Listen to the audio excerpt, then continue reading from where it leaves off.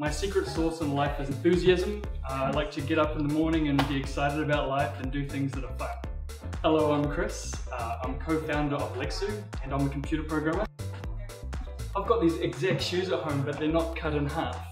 Uh, it's interesting because they're so they're so hard, these guys, whereas these shoes I'm wearing right now are just amazingly soft.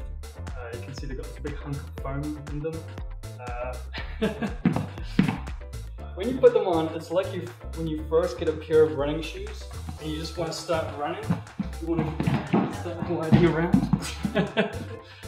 it's important to me to look a little cool. I don't have very good taste, but my wife does, and so she helps me pick things.